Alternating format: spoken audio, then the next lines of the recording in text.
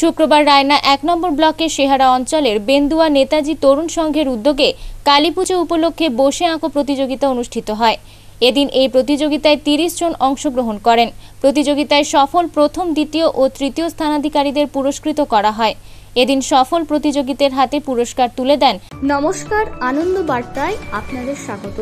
আপনাদের নিউজ দেখার পর একটা লাইক এবং একটা শেয়ার করুন। ভালো ভালো নিউজ দেখতে পেজটি লাইক করে দিন। জেলা পরিষদের দুই সদস্য অপার্থিব ইসলাম ও বিশ্বনাথ রায়। এছাড়া উপস্থিত ছিলেন সেহারা গ্রাম পঞ্চায়েতের প্রধান দয়াপতি বাগ সহ বিশিষ্ট ব্যক্তিবর্গ। বেন্দুয়া তরু সংঘ ক্লাবে কালী পুজো উপলক্ষে একটা আঁকা প্রতিযোগিতা হলো। কোথায় হলো এটা? বেন্দুয়া তরু সংঘ ক্লাবে। রায়না থেকে কৃষ্ণ সাহার রিপোর্ট আনন্দ বার্তা।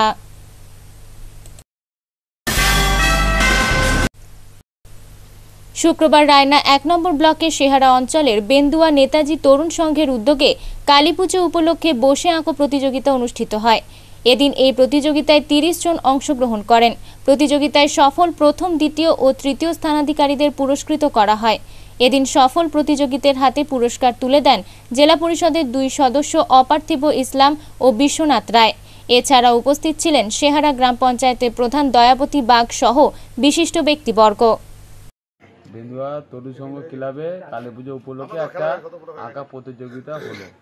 কোথায় হলো এটা? বেন্দুয়া তরু সংঘ ক্লাবে। রায়না থেকে কৃষ্ণ সাহার রিপোর্ট আনন্দ বার্তা।